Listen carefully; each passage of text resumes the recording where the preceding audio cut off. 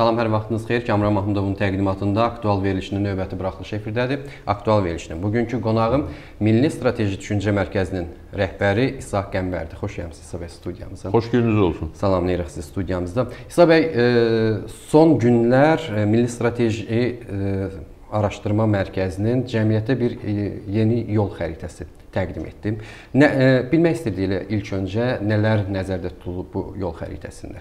Sizdən eşidək. Buyurun. Milli Strateji Düşüncə Mərkəzi uzun müddətdir ki, e, Azərbaycanda vəziyyəti diqqət mərkəzində saxlayır və bu böhranın ilk əlamətləri başlayanda artıq Milli Strateji Düşüncə Mərkəzi bu barədə mövqeyini bildirmişdi və ilk tövsiyələrini də vermişdi. Hətta e, ötən ilin fevralında ilk devalvasiyadan sonra e, Düşüncə Mərkəzinin bir dərin masası da olmuşdu. İqtisadçıların, siyasətçilərin, ekspertlərin iştirakı ilə vəziyyət müzakirə edilmişdi. Və dediyim kimi diqqətdə saxlayırıq bu prosesləri və nəhayət biz qərara gəldik ki, bütövlükdə ölkənin böhrandan çıxması ilə bağlı bir yol xəritəsi hazırlanmalıdır. Hı -hı. Və ona görə də e, uzun müzakirələrdən sonra həmin layihəni hazırladıq. 29 yanvarda e, Düşüncə Mərkəzinin toplantısında o təsdiq olundu və e, 6 fevralda da artıq cəmiyyətə bir növ təqdimatını həyata keçirdik. Geniş bir Hı -hı. toplantı keçirildi. O toplantıda yol xəritəsi təqdim edildi, onun ətrafında çox maraqlı müzakirələr oldu. Yol xəritəsi e, belə deyək ki, bu günə qədər irəli sürülən heç bir təklifə alternativ deyil. Yəni bu günə qədər bilirsiniz ki, e, bir çox partiyaların, bir çox ekspertlərin e, təkliflər olub, təkliflər paketi olubdur. Məsələn, Müsavat Partiyasının çox mükəmməl bir təkliflər paketi təqdim olunmuşdu təxminən bir ay bundan əvvəl cəmiyyətə. Başqa partiyaların real e, maraqlı ideyaları olub, Bəli. cəhbətçilərin, müstəqil ekspertlərin çox dəyərli tövsiyələri olub. Biz bunların hamısını diqqətlə araşdırırıq və hamısını diqqətə layiq hesab edirik, diskusiyaya qadir hesab edirik onların ətrafında. Eyni zamanda bizim yol xəritəmiz onların heç birinin alternativi deyil, heç birinə qarşı deyil. Əksinə biz e, bir tərəfdən öz sənədimizdə bugünə qədər irəli sürülən bütün təklifləri ümumiləşdirmişik əslində qalsa. Yəni əsas e, gərəkən istiqamətləri müəyyənləşdirmişik və həmin istiqamətlərin, həmin addımların ardıcıllığını müəyyənləşdirmişik və cəmiyyətə təqdim etmişik. Hı -hı. Həmçinin bizim yol xəritəsi e, hansısa e, əhalinin hansısa qrupunun, əhalinin hansısa hissəsinin e, maraqlarını deyil, bütövlükdə cəmiyyətin, xalqın, ölkənin maraqlarını nəzərə alır. Yəni həmin yol xəritəsi bu saatı böhran zərbələrindən ən çox əziyyət çəkən əhalinin də maraqları nəzərə alır, xüsusən az təminatlı insanların vəziyyəti nəzərə alır. İş adamlarının e, baskı altında, təzyiq altında olan iş adamlarının da maraqları nəzərə alır. Demokratik düşərgənin maraqları nəzərə alır və hətta hakimiyyətin də maraqları nəzərə alır. Biz əslində qalsa e, hakimiyyətə şans veririk ki, e, tədricən, dinç şəkildə e, hakimiyyəti xalqa təhvil verib çəkilsinlər. Hı. Bəlkə də bu biraz e, bu gün qeyri-real görünür. Ancaq əslində qalsa hakimiyyət üçün bu çox ciddi bir şansdır. Çünki hakimiyyətin yeganə çıxış yolu e, tədricən ölkədə azadlıqları bərqərar etmək və tədricən dinç şəkildə hakimiyyətin xalqa keçməsini təmin etməkdir. Hakimiyyətin başqa yolu yoxdur. Və yol xəritəsində də bütün bu məqamlar nəzərə alınır.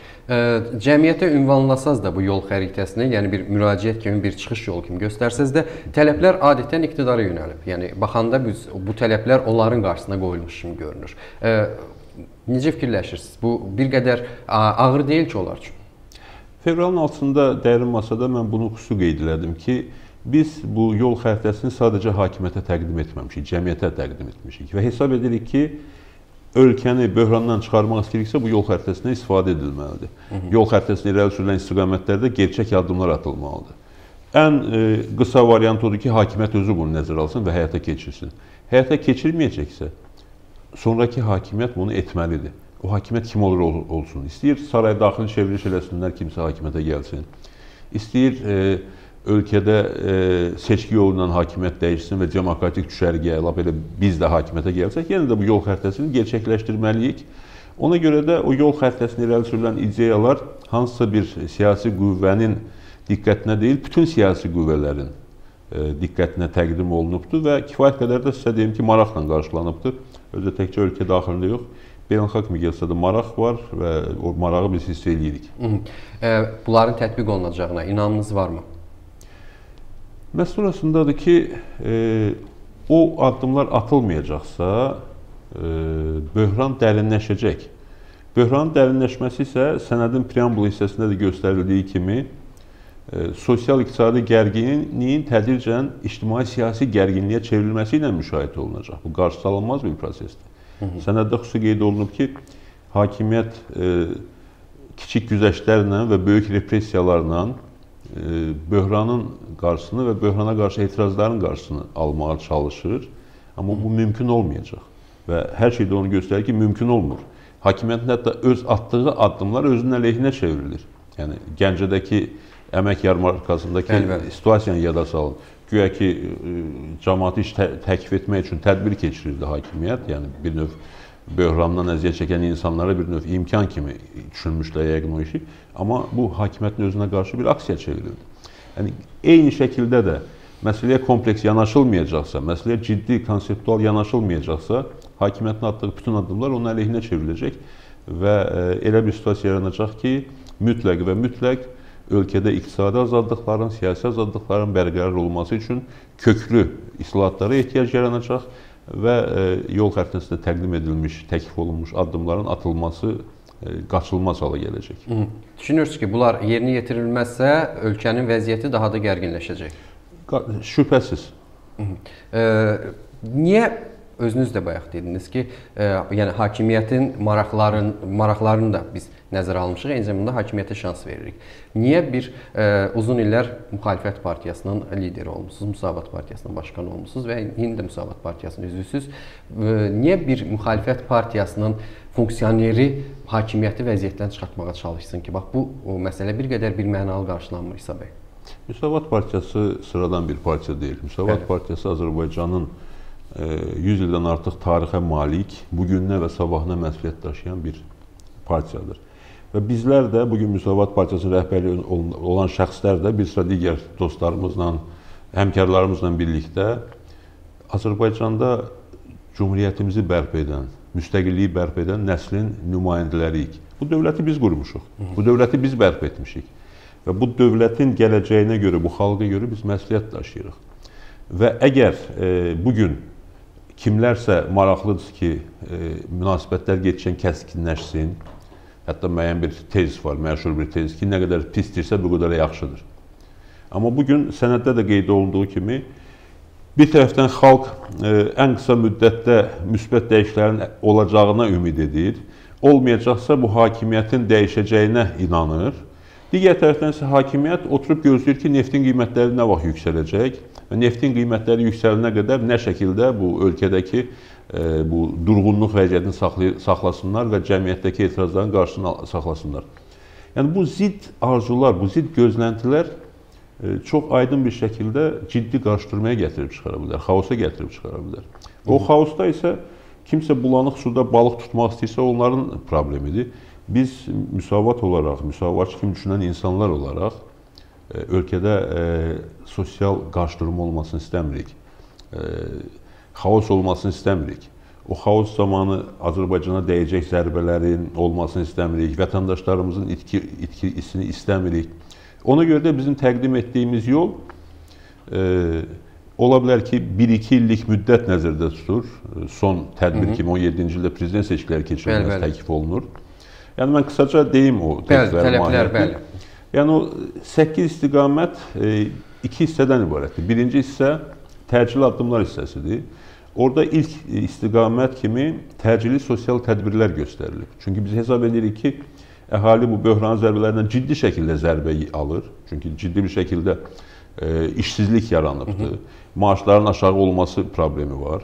E, devalvasiya nəticəsində manat çox aşağı düşdü və insanların gəlirləri xeyli dərəcədə aşağı düşdü. Bahalaşma getdi. Bütün bunlar insanlarımıza böyük zərbədir, xüsusən az təminatlı insanlara böyük zərbədir.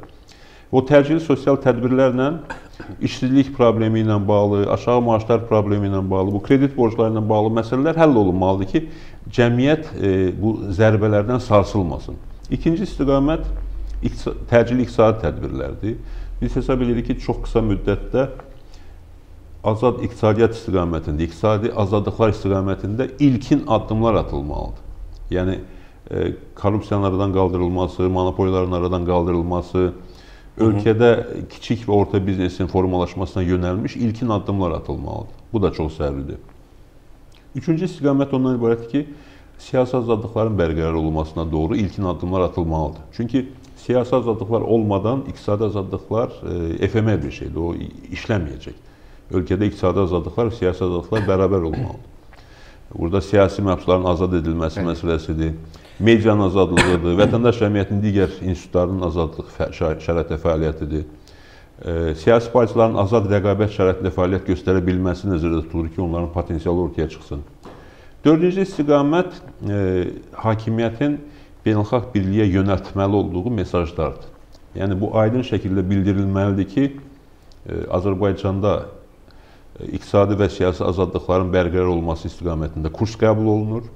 Azərbaycan Avro-Atlantik inteqrasiya istiqamətində konkret addımlar atacaq. Biz hesab edirik ki, NATO-ya, Avropa Birliyinə üzvlüklə bağlı müraciət edilməlidir. Ümumdünya Ticarət Təşkilatı ilə 10 ildən çoxdur davam edən saqqız kimi uzanan bax bu danışıqlara son qoyulmalıdır və Azərbaycan həmin təşkilatın üzvü olmalıdır. Hı -hı.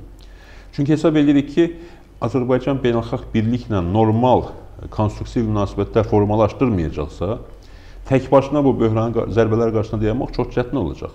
Axı artıq təsdiq olundu ki, Azərbaycan hakimiyyəti nə qədər inkar eləsələr də, hətta İlham Əliyev özü də inkar eləsə ki, biz xaricdən borc istəməmişik, xaricdən borc istəyibdi.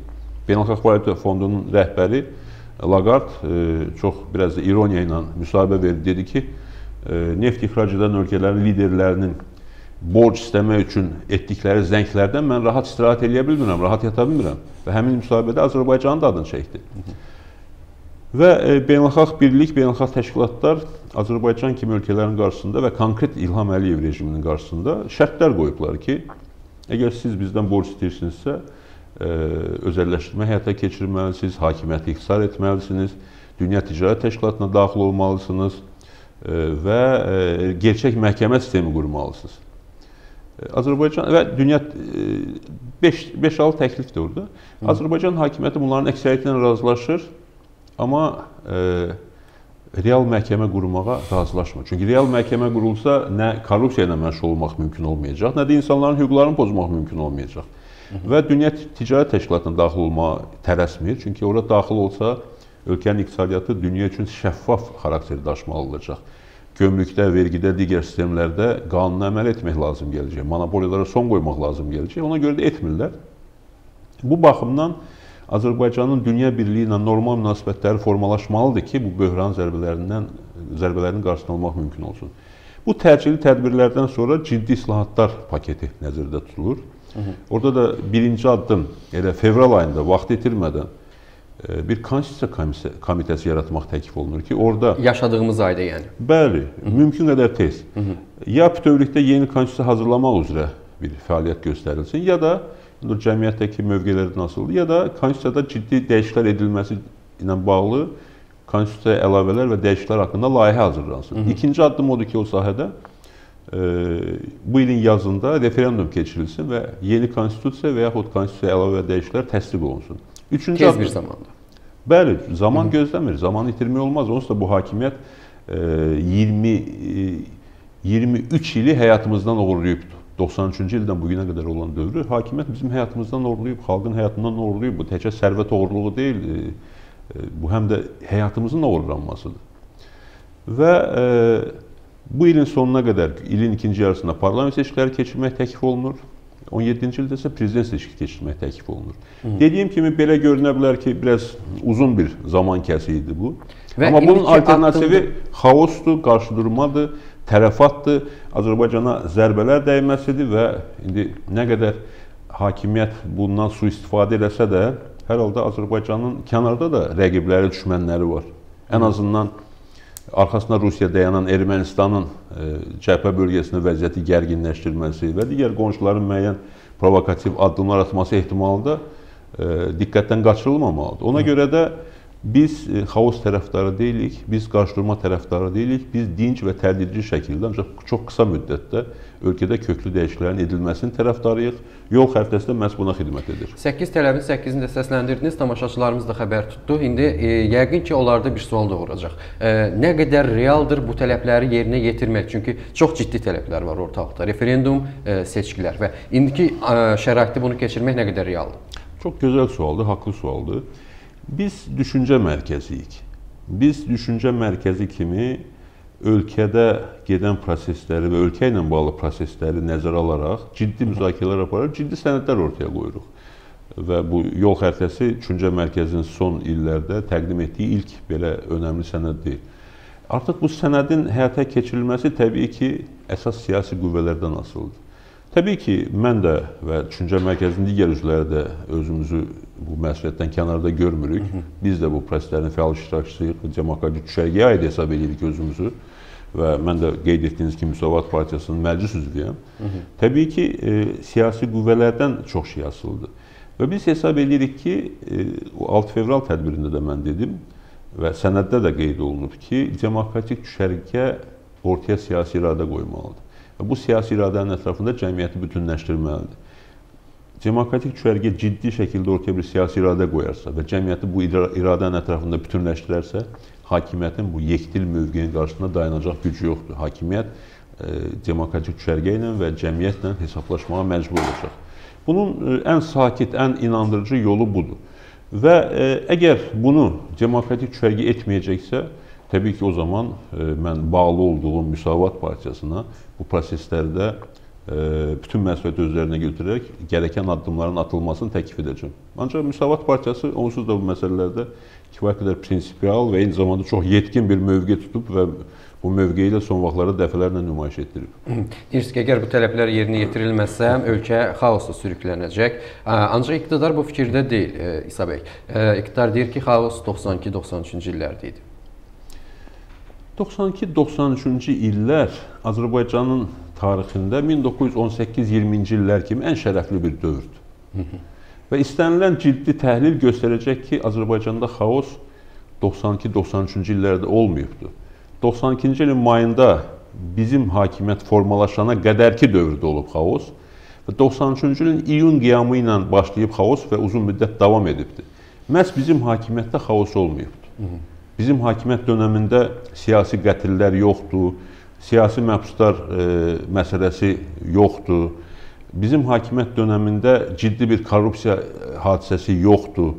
Bizim hakimiyyət e, hakimiyyət indiki hakimiyyət nə qədər bunu ləkələməyə çalışsa da, mən əminəm ki, necə ki 18-20-ci illər Azərbaycan xalqı tərəfindən öz şərəfli tarixinin ən layiqli səhifələrindən biri kimi qəbul olunur. 92-93-cü ildə tarixə o cür daxil olacaq. Buna mənim heç bir şübhəm yoxdur.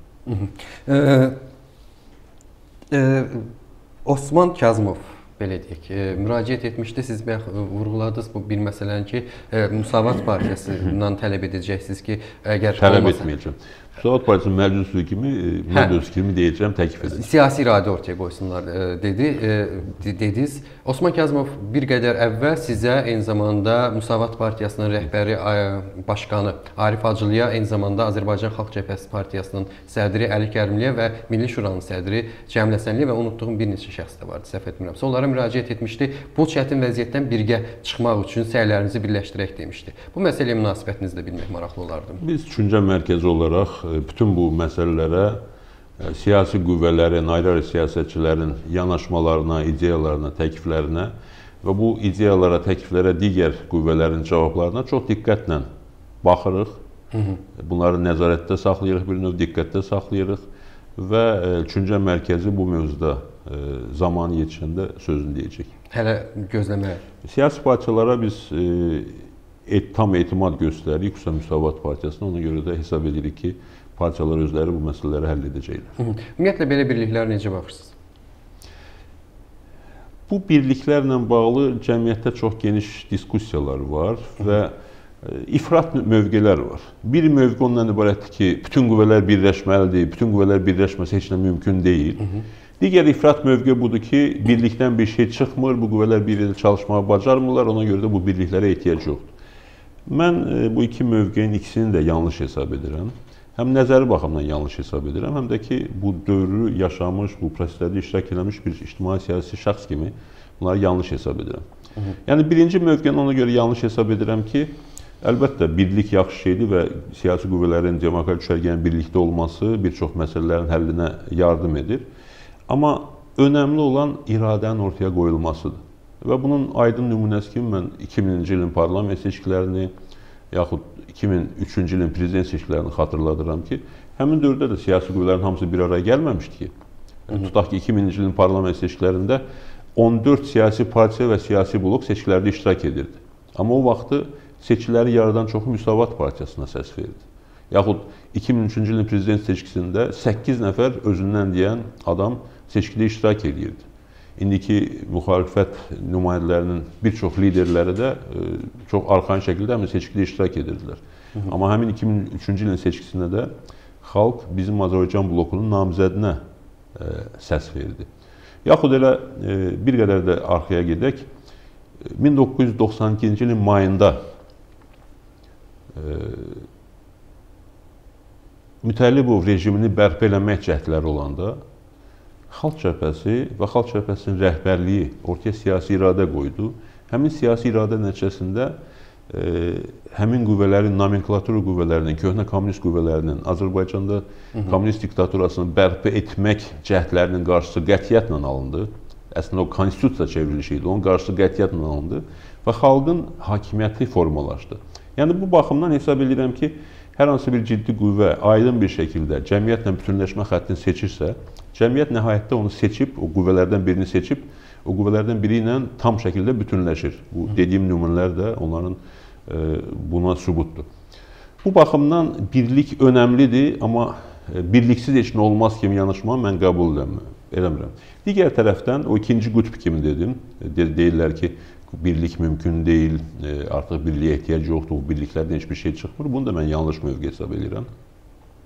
Mən düşünürəm ki, Əliyev rejimi dönəmində 93-94-cü ildə yaratdığımız demokratik konqresdən tutmuş, son dövrlərdəki demokratik düşərgənin birliklərinə qədər hamısının hər birinin ayrıca bir missiyası olub və o missiya əsasən yerinə yetirilibdir.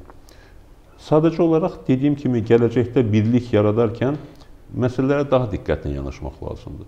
Birlik yaradan kimi güya ki artıq bütün məsələlər həll olundu, müxalifət bir araya gəldi və hər şey əladır kimi şüarlara qapılmaqdansa o birliyin konkret hədəfləri müəyyənləşməlidir.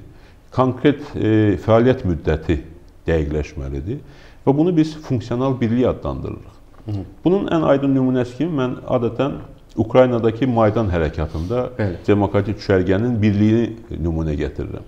Orada bilir, yadınızdadır ki, meydan hərəkatı dövründə Ukraynada üç əsas qüvvə meydanda birgə fəaliyyət göstərirdilər. Hı. Onların birgə qərargahı var idi meydan yaxınındakı binalardan birində. İş bölgüsü eləmişdilər. Hərəsi bir işlə məşğul idilər və hər üç qüvvənin liderləri də e, meydanda, tribunada yanaşı dayanırdılar, birgə çıxışlar edirdilər. Meydan hərəkatı qalib gəldi. Elə onun sabahsı günü prezident seçkiləri başlayanda, parlament seçkiləri başlayanda bu qüvvələrin hər biri ayrı-ayrılıqda e, namizədliyin irəli sürdü. Heç kim də o birinin E, itham eləmədi ki, niyə sən e, ayrıca namizəd olursan, axı biz bir yerdə meydanda qələbə çalmışıq. Çünki bu məhz funksional birlik idi. O qüvvələrdən hansı biri cəmiyyətin daha çox etimadını qazanırsa, həmin qüvvə prezidentliyə e, öz iradəsini gerçəkləşdirə bildi. Hansı qüvvə buna nail idisə, qadir idisə, parlament seçkilərində qalib gəldi. Bu baxımdan Azərbaycanda da demokratik düşərgənin məhz funksional birliyinə ehtiyac var. Yoxsa bütün qüvvələr bir araya gəlsin və həmin qüvvələrin e, bir koordinasiya şurası, koordinasiya mərkəzi qurulsun. 10-15 adam da orada direktorlar şurası kimi oturub fəxr eləsinlər ki, biz bütün hərəkatın liderləriyik. Bu cür e, yanaşmalar təcrübə göstərir ki, e, böyük uğurlara gətirib çıxara bilmir. Hı -hı. Demokratik düşərgə dedikdə Azərbaycanda kimlər nəzərdə tutursunuz, bilmək olarmı? Bu e, təşkilat. Bu dəyişən yanaşmalardır. Yəni biz yaxın tarixdən də görürük ki, e, bu məsələyə münasibət tez-tez dəyişir. E, mənim üzv olduğum Müsavat Partiyasının məsələdə çox aydın bir mövqeyi var və Hı. Müsavat Partiyası parlament seçkiləri dövründə də bir neçə təşkilata əməkdaşlıq təkvir əl sürmüşdü. O qüvvələrdən bəziləri bu əməkdaşlığa razılaşdı, bəzisi razılaşmadı. Yəni e, bu kifayət qədər opt e, optimal bir yanaşma idi, gerçəkçi bir yanaşma idi. E, yaxın gələcəkdə e, hansı birliklərə ehtiyac olacaq, onu zaman diktə edəcək Hı -hı. və siyasi qüvvələrin davranışı onu nümayiş etdirəcək. Hı -hı. Kim ölkədə köklü demokratik dəyişikliklər məsələsində səmimi çalışacaqsa, oyun oynamayacaqsa, çünki oyun oynayanlar da var. Hı -hı. Bu gün elləri var ki, oturub gözləyirlər ki, xalq ayağa qalxacaq, inqilab edəcək və orada da deyəcək ki, gəl sən mənim liderim ol. Fürsətdən istifadə Kimsə bunu gözləyir. Kimsə düşünür ki, Qərb gəlib burada hakimiyyət dəyişəcək və İlham Əliyevi devirib həmin şəxsi gətirib onun yerinə oturacaq. Kimsə bu bulanıq suda hakimiyyətin xoşuna gəlib hansısa bir mövqe tutmağa çalışır, kimsə deputat olmaq istəyir, kimsə hətta xam xəyallara düşür ki, e, öz konstruktiv dırnaqarası təklifləri ilə hakimiyyətin diqqətini cəlb edəcək və İlham Əliyev ona deyəcək ki, gəl bu ölkəni böhrandan bir yerdə xilas eləyək. Yəni bu cür oyunlar oynayan qüvvələr var. E, ona görə mən e, Düşüncə Mərkəzinin son toplantısında 6 fevralda xüsusi qeyd elədim ki, bu cılız oyunlara son qoymaq lazımdır. Cılız oyunların vaxtı deyil ölkəni, xalqı böhrandan xilas eləmək, bu problemləri həll etmək üçün səmimi, prinsipial və konseptual yanaşma ortaya qoymaq lazımdır. Və mən inanıram ki, ölkəmizdə kifayət qədər bu cür qüvvələr var və biz birlikdə bu işlərin öhdəsindən gələ biləcəyik. Birliklərlə bağlı sualı nahaqdan vermədim, çünki son dönəmlər yəqin siz də izləyirsiniz. Bir canlanma var Azərbaycanda siyasi aləmində belə deyək, e, birləşirlər, koalisiya yaradırlar, e, digər e, bunlara münasibətinizi öyrənmək üçün vermişdim bu sualı. Son yaranan bu birliklərə səmimi görünürlərmi? Gəlin bu sualı cavabsız buraxaq. Maraqlıdır. Niyə? Keçək üstündən İsa bəy Çünki yaxşı, niyəsini mən deyim. Çünki biz Müsavat partiyası olaraq və düşüncə mərkəzində bu cür e, yanaşma tərəfdarıdır. Biz e, ölkədə vəziyyətin dəyişməsini istəyirik. Ölkədə vəziyyətin dəyişməsinin qarşısını alan qüvvə Əliyev rejimidir. Biz bu rejimə qarşı mübarizə aparırıq. Hı -hı. Hansısa demokratik düşərgədə hansısa qüvvələr bütün gücləri ilə, qətiyyətlə, səmimi şəkildə bu rejimə qarşı mübarizə aparır, onlar təbii ki, bizim üçün daha əzizdir. Hansılarsa biraz daha sakit, biraz daha ehtiyatlı hərəkət edirlər. Bunları da biz görürük və qiymətləndiririk. Və biz bu qüvvələrin heç birinin nüfuzdan düşməsini, hörmətdən düşməsini istəmirik. Biz bunda maraqlı deyilik. Diqqət yetirirsinizsə, Müsavat partiyasına bu qədər böhtanlar atılır, yalanlar deyilir. Demək olar ki, biz heç birinə əhəmiyyət vermirik. Başqa qüvvələrin bütövlükdə təşkilatları haqqında da, liderlər haqqında da çox ciddi faktlar ortaya çıxır, çox ciddi ithamlar ortaya qoyulur. Biz o ithamlara heç baş qoşmuruq, maraq göstərmirik. Halbuki o ithamlar tutaq ki, Allah eləməsin, Müsavat partiyasının rəhbərliyi haqqında deyilsəydi, nəinki başqa qüvvələr, Müsavatın özünün içində insanlar ayağa qalxıb deyərdilər ki, bu nə məsələdir, necə ola bilər bu məsələ. Yəni müsavat belə bir qüvvədir. Ona görə də bizim yanaşmamız budur ki, e, ayrı-ayrı qüvvələrin hətta səhvlərini görəndə də, ayrı-ayrı qüvvələrin e, bu məsələlərdə ancaq yaxud əsasən öz maraqlarından çıxış eləyərək hərəkət etdiyini görəndə də biz bu məsələnin çox üstünə getmirik. Çünki əsas mübarizə e, Əliyev rejimi ilə ölkədə köklü demokratik dəyişikliklərə nail olmaq istəyən səmimi, prinsipial, əslində müsavat ideologiyasını daxilində daşıyan qüvvələr arasında gedir və biz bu prosesin sürətlənməsinin tərəfindəyik. Bir qədər ölkənin vəziyyəti barəsində istəyirəm fikirlərinizi öyrənim. Bəzi ekspertlər deyirlər ki, ölkədə iqtisadi böhran hazırda hökm sürür. Bəziləri isə deyirlər ki, bu iqtisadi böhranın yaranmasına səbəb siyasi vəziyyətdir və bu siyasi böhrandır. Siz necə düşünürsünüz? Milli Strateji Düşüncə Mərkəzinin rəhbəri olaraq. Hakimiyyət e, çox e, qəribə mövqelər sərgiləyir. Hakimiyyətin bəzi nümayəndələri çox belə e, söz də sərt söz də işlətmək istəmirəm, çünki özümə yaraşdırmıram. Ancaq həyasızcasına iddia edirlər ki, bəziləri ölkədə böhran yoxdur. Bəziləri böhran olduğunu etiraf edirlər, ancaq deyirlər ki, bu böhran dünyada baş verən hadisələrlə bağlıdır və neftin qiymətinin düşməsi ilə bağlıdır. Neftin qiymətinin düşməsi təbii ki, proseslərə ciddi təsir edir. Hı -hı. Ancaq Norveçdə niyə təsir eləmir? Norveçdə çünki neft pullarını bu cür korrupsiya ilə, oğurluqla dağıtmırlar. Norveçdə neftdən gələn pulları ayrıca bir fonda yığıb, əslində qalsa gələcək nəsillər üçün saxlayırlar və bugünün problemlərini neftin pulunu dağıtmaqla həll etmirlər. Bir sıra başqa ölkələrin öz yanaşmaları var.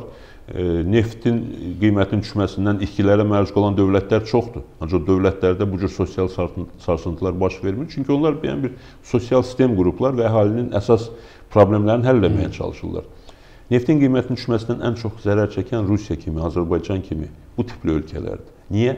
Çünki burada əsas problem ölkədəki korrupsiyadır, monopoliyalardır, ölkənin bərbad idarə edilməsidir, savadsız, səriştəsiz, nadan bir şəkildə idarə edilməsidir. Və Azərbaycanda da böhranın əsas səbəbi budur. Və təbii ki, e, bu səriştəsizlik, nadanlıq və bu e, konsepsiyasız, bilgisiz, bərbad idarəçilik, korrupsiya və e, monopoliyalardan bir yerdə Üstəlik də siyasi təzyiqlərlə, repressiyalarla, ölkədə siyasi azadlıqların boğulması ilə müşahidə olunursa, təbii ki, böhran daha ciddi xarakter daşıyır və daha ağrılı zərbələr vurmaq gücündədir. Ona görə də böhran Azərbaycanda bütün sahələri əhatə edib. Əslində qalsa e, mənəvi sahədə də böhrandır. Torpaqlarımızı azad etmək məsələsində də böhranlı bir vəziyyətə gəlib çıxmışıq. Heç bir əliyə bir addım atıla bilmir. Əksinə gündən-günə E, beynəlxalq birlik də Azərbaycandakı rejimin e, siyasi və iqtisadi azadlıqları boğulmasına görə görürsən ki, sərt mövqe tutur bir çox məsələlərdə.